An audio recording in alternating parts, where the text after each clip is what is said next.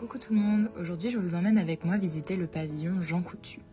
Pour s'y rendre, il faut emprunter les escaliers qui se situent entre le pavillon André Eisenstadt et le pavillon Paul G. Desmarais. Le pavillon Jean Coutu abrite le département de pharmacie et ce que j'aime le plus dans ce pavillon, c'est qu'il dispose d'une agora très lumineuse où vous pouvez venir étudier, manger ou chiller entre amis.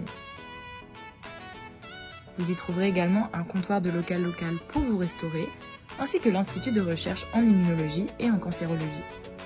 Il abrite des salles de classe de tailles différentes